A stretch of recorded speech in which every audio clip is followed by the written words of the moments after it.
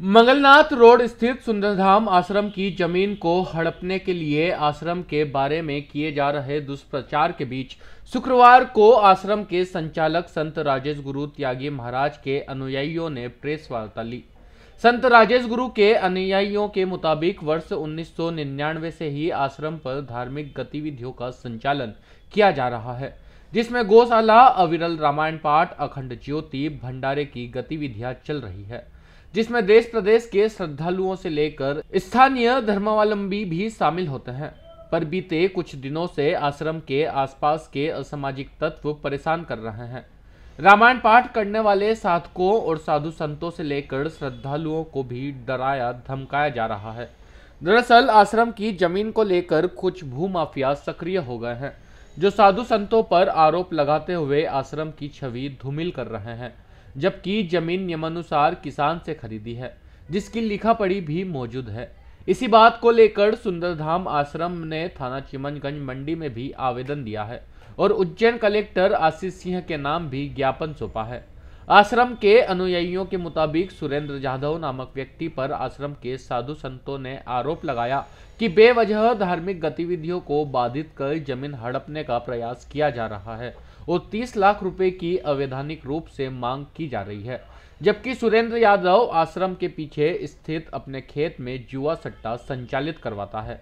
पिछले दिनों ही पुलिस ने यहाँ से बड़ी संख्या में जुआरियों को गिरफ़्तार किया था। इसके साथ ही उसके द्वारा आश्रम के पीछे ही अवैध रूप से रेती धुलवाने का काम भी किया जाता है। सुंदरधाम आश्रम के साधु संतों ने मामले में जाँच कर दुष्प्रचार करने वालों के खिलाफ कार्रवाई की मांग की है।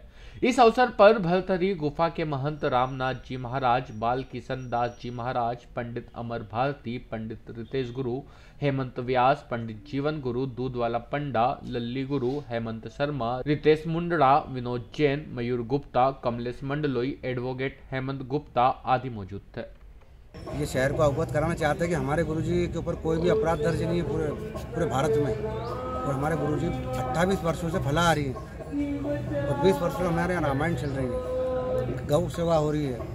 आए साधु संतों की सबकी सेवाएँ हो रही है। और सी में हमारा अलाटमेंट इस भूमि पे हो चुका है जहाँ हमारे गुरुजी स्थापित हैं। ज़मीन का क्या विवाद है जो ज़मीन इनके दादाजी से हमारे गुरुजी ने 2003 में 2003-4 में रजिस्ट्री दो में। इसकी रजिस्ट्री करा ली थी।